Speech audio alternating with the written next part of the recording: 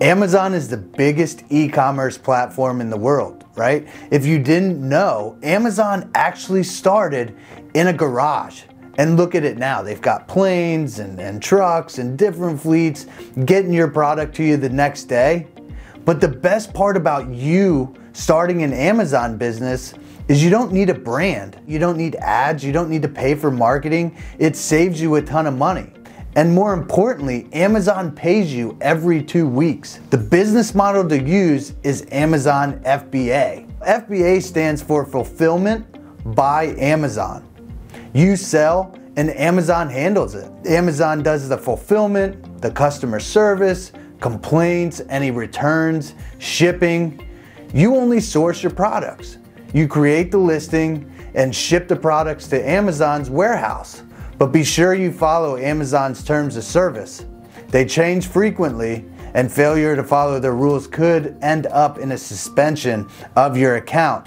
Amazon seller accounts, it costs $40 a month plus selling fees. Make sure you've got a good plan in place with the products that, that you're wanting to sell. Make sure your, your pictures are good. If you want to take the pictures on your phone, you can do that, but will they look professional enough? My advice on that would be to purchase your own equipment. You can go out and buy a camera. You don't have to get the most expensive one, but a nice camera. That way you can continuously take pictures of your new product. And, and if you bundle anything, it's all right there at your fingertips and it's a one-time cost. Amazon FBA is designed to do a few things. Maximize sales and mitigate risks right? So you're not looking at spending a whole bunch of money and putting everything into one basket. Now that we've talked about cost, What's the next step? Well, we're really, what's the first step that you need to do when you're starting up an Amazon business? You got to find a product, right? Find a highly profitable product to sell. Go through Amazon's bestseller list and see what products are selling. What's most popular? They update that list every hour, so you can continuously monitor that list to see what people are really looking for and what people are buying.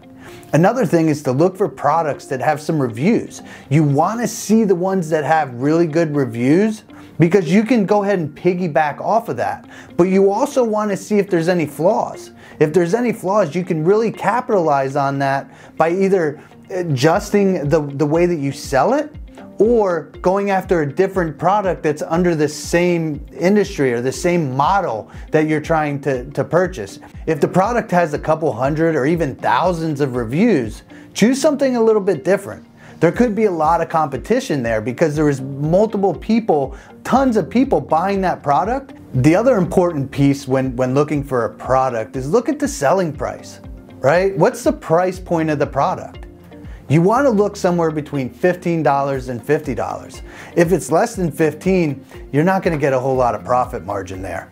But if it's over 50, that's a price point that a lot of people look at and go, uh, it's a little expensive for me. I don't know if I want to buy that. But once you have a product, model your images, the title, and description on popular listings.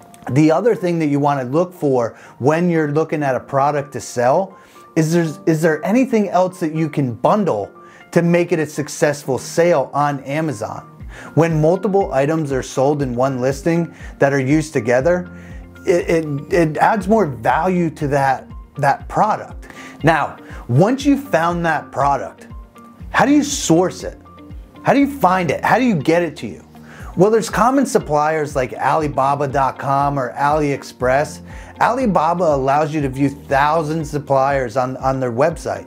So you can get these in bulk. The, the product that you're trying to sell, you can buy them in bulk for a much lesser price. You can order samples of a product to test out and try too. You always want to do that. You want to make sure that the quality of the product is, is beating the test, is matching what you're really looking for. Because the second you sell something and the quality is poor, there goes a bad review for you and they're not going to be a returning customer.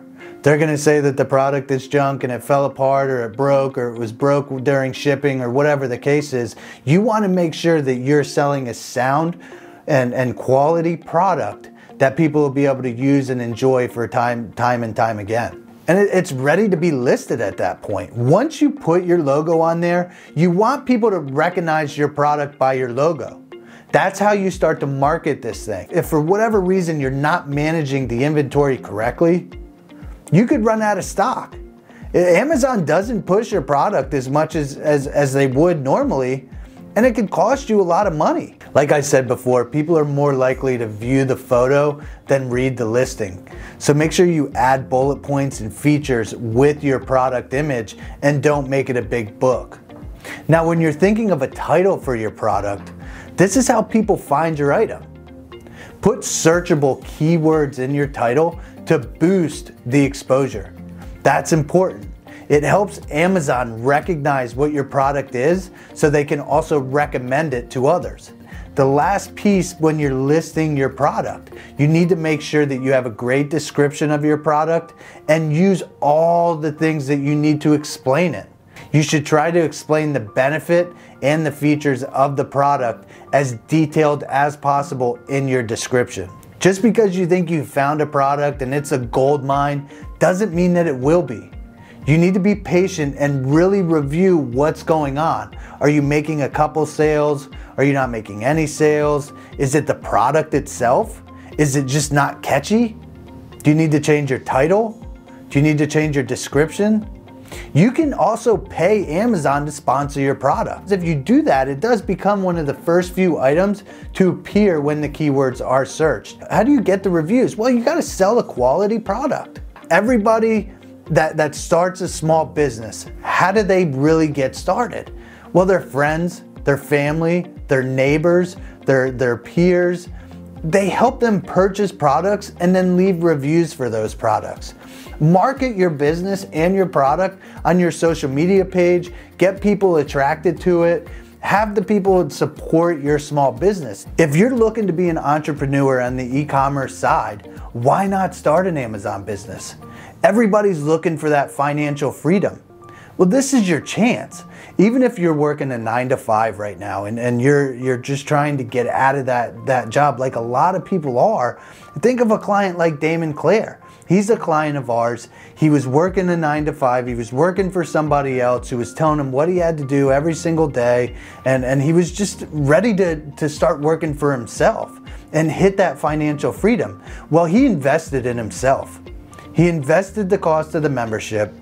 He came in, he was able to obtain $190,000 plus that he was able to use towards his Amazon business. Now he's got people working for him, he makes his own schedule. He's able to really live the life of the American dream, right? That's what everybody wants is that American dream.